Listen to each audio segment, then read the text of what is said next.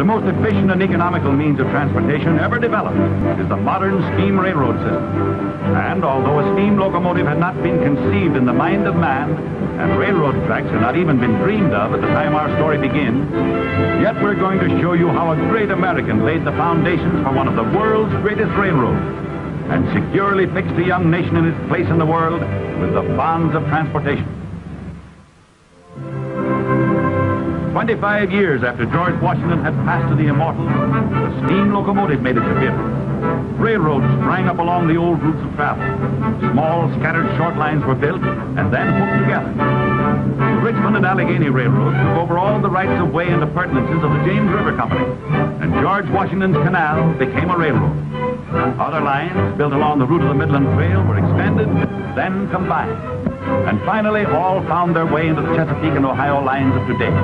George Washington's Railroad, built on the routes he selected. And here we see George Washington's Railroad as it is today, smoothing the road, making easy the way between east and west, as Washington predicted in his letter to Governor Harrison.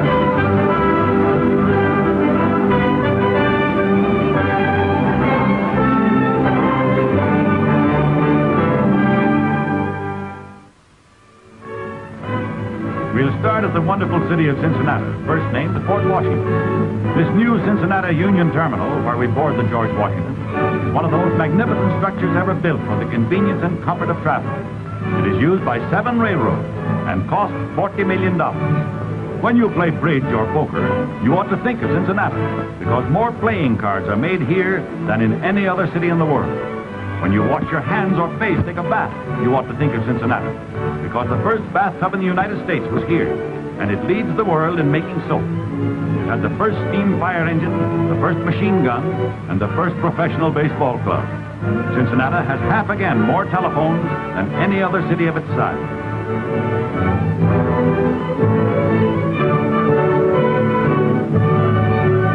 And here's the George Washington leader of the finest fleet of air-conditioned trains in the world.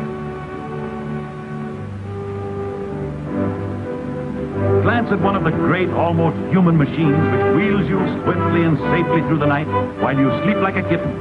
It's not only a locomotive, it's a traveling pump plant. Loaded with 20 tons of coal and 16,000 gallons of water, this mechanical wonder is going to convert 4,000 gallons of water into steam every 60 minutes and into its giant furnace is going to go every hour two tons of the finest coal in the world. But the fireman doesn't have to shovel it like he used to. He just turns this little gadget, and machinery does it, more scientifically and more effectively than a man could do it with a shovel. But the fireman still has plenty to do and plenty of responsibility. He's the engineer's right-hand man.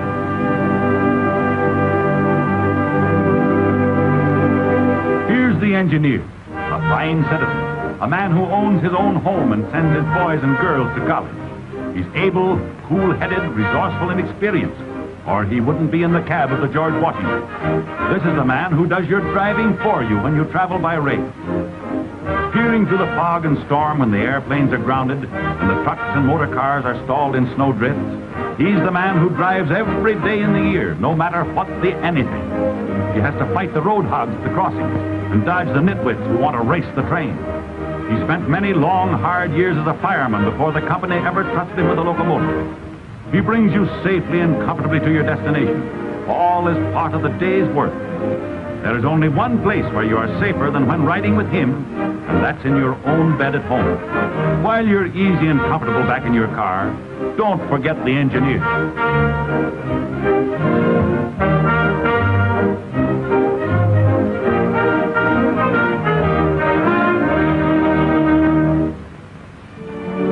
Food is an important part of traveling.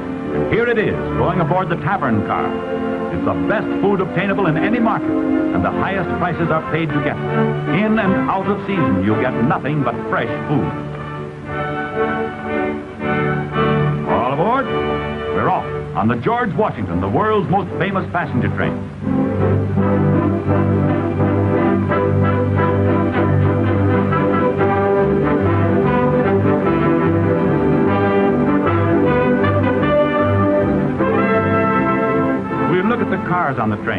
Here's one quite different.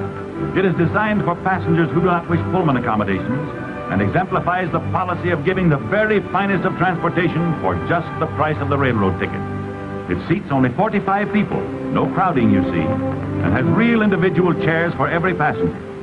They turn in any direction. Couples or parties of two or four or six can foregather here. It is fully carpeted, has individual reading lights, and if you're a big butter and egg man and want to work while you ride, that's easy, or you can have a table. There's a women's lounge room, too, for making a toilet or taking a smoke.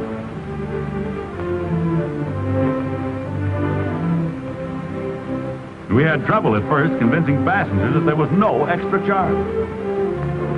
Now, right here in the most convenient location in the train is a tavern car. It's not called the dining car because it isn't like anything you've known as a diner.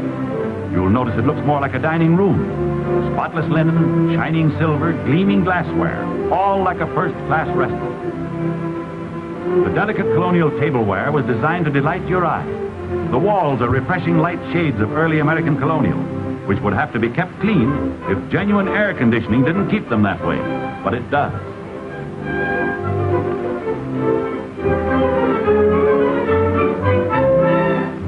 The meals are cooked by experienced chefs, and if what you want isn't on the menu, one of them probably knows how to cook it and will be glad to do so.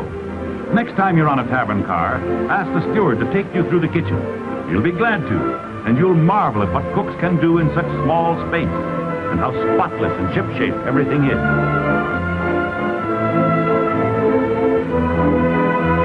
But seeing is believing. Here's the Mount Vernon dinner. And the tavern dinner. It's a he-man's meal for anybody. But the Mount Vernon dinner is the favorite. First, there's a choice of relishes. This man likes a fruit cocktail. Then there's a choice of soup. This fellow likes consomme. Then there's always fish, fowl, and meat. This two-fisted chap likes a steak. And look at it. A steak is, is a steak.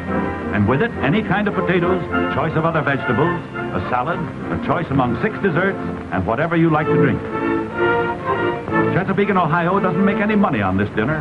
It couldn't possibly do that, for there isn't enough volume of business on any train to make a dining car profitable.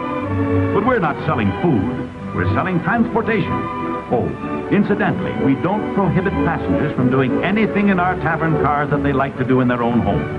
The steward will invite you to have a cigarette.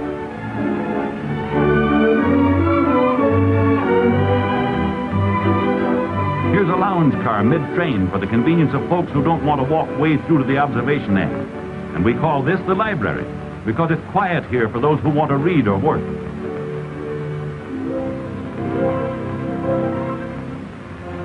After a good meal, the observation lounge is a comfortable place to settle down. Newspapers, magazines, stock market reports, and sporting bulletins to read. And then, of course, there's the radio with the music of your favorite orchestra. There's no reason why you should be cut off from the world when you travel. Radio keeps you in touch with the news of the day. But if you want to rest and relax, forget the busy world and look at the marvelous country and the interesting places as you speed along. Augusta, Kentucky was settled by revolutionary soldiers in 1785, the same year George Washington's railroad was founded. It's the only town in the world built on the bones of unknown people. Here, the first Methodist college west of the Alleghenies was located.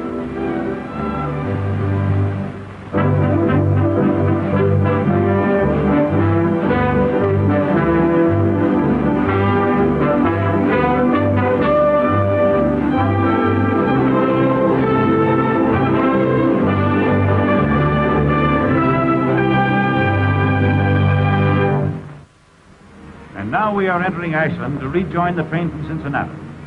The setting sun has dipped below the rim of the haze-enshrouded hills which frame the course of the beautiful Ohio.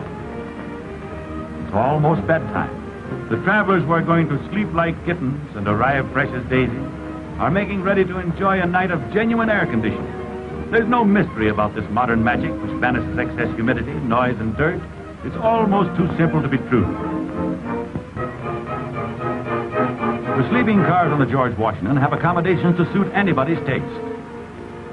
Single berths and single sections, of course, for those who prefer them, with real coil spring mattresses, regular miniature box springs just like you have at home. Maybe for the family you want a room or a suite of rooms with individual accessories. The George Washington has those too. Then, if you want privacy, here's a single bedroom. By day, it's a luxurious apartment with a deep cushioned divan. At night, it's a private bedroom with private accessories and a bed six inches longer than a berth. Think of that, you long fellows who have been trying to be contortionists when you put on your pants in an upper. No use taking time to look at the other cars. They're all like this. Brilliantly lighted, cheerfully decorated, spotlessly clean, and of course, genuinely air-conditioned. Each one is a traveling home with its own water system and power plant, and supplied with its linen, bedclothes, and other equipment for your comfort. It represents an investment of $40,000, or the equivalent of this splendid home. Sleep like a kitten and arrive fresh as a daisy are more than slogans. And now there are lots of other things going on all over this great railroad. You rarely see them and probably know little of them. So we're going to give you several quick glances. But the wonderful New River Gorge combines them all. Deeper than the gorge of the Niagara, there's a riot of scenic grandeur through which we pass on our way to begin our ascent of the western slope of the Allegheny Mountains.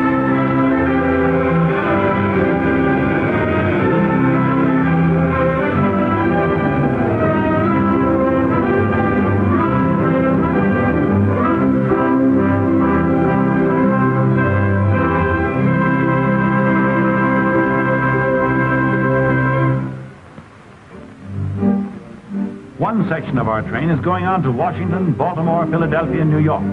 But for the moment, we will remain with the other section, which is going on to Richmond, Newport News, Old Point, Comfort, and Norfolk.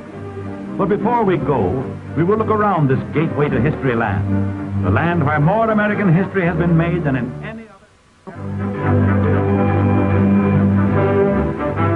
News, where Chesapeake and Ohio rails come down to Tidewater, is the largest terminal occupied by one railroad.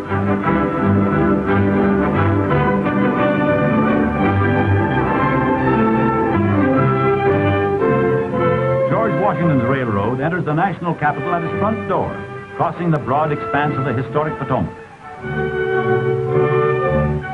Visitor's first view as he leaves the great Union Terminal is the dome of the Capitol, on the site selected by Washington, its cornerstone laid by him.